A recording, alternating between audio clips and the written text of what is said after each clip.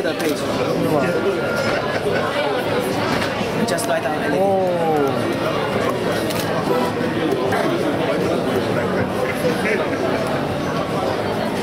This Is an Eee Pad?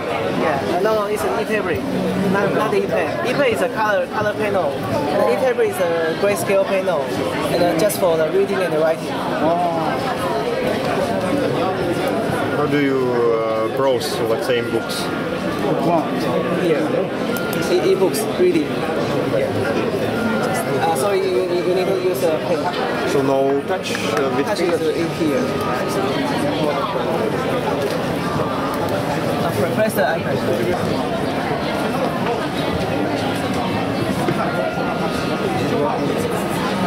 Touch with fingers only here. Yeah, yeah. So uh, you, touch, you touch the page down.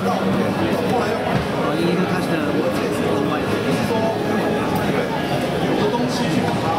What happened with uh, the old Uh, actually, we launched this uh, in a Live? Yes. You don't. You, you will have both products. Uh, you can see the this this device uh, in the, the the wall in the. Okay, but don't you think this will be better than this? Uh, I think there is a different uh, scenario. This is only for reading, and this is for reading and writing, and then this is a slow panel, but uh, it has a paper quality. You know, the e-ink is Yeah. uh, more like uh, the ink, uh, more, more more more like a paper. But this one uh, So still both products yeah, yeah, are alive. launch two two products. Depends on the user Will this have also some bro- browser and uh, Wi-Fi? Yes, because uh, it's a uh, panel refresh rate is very very very high, so we will launch a browser.